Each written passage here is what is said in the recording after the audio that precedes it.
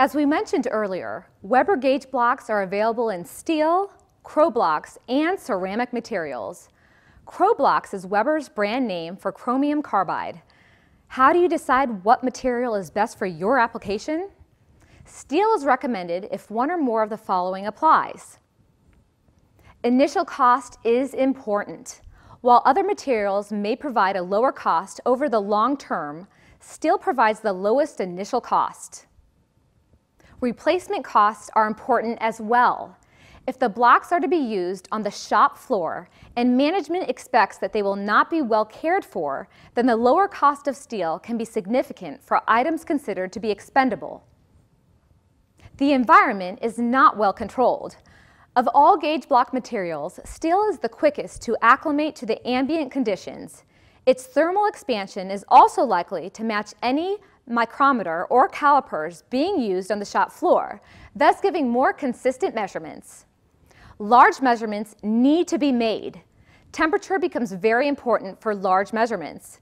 Since steel is a common material for manufactured parts, the thermal expansion of steel gauge blocks is likely to match those parts being produced as well as measuring instruments being used in the manufacturing process.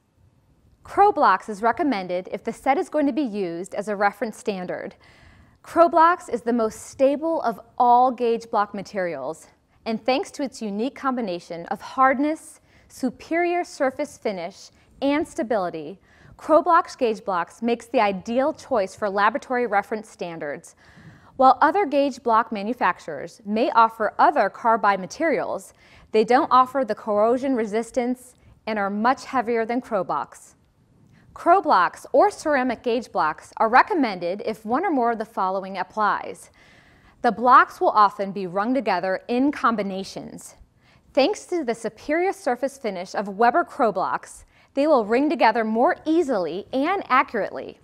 Additionally, thanks to the increased scratch resistance over steel, they will maintain their ability to ring together far longer than steel. The blocks are used in an abrasive environment.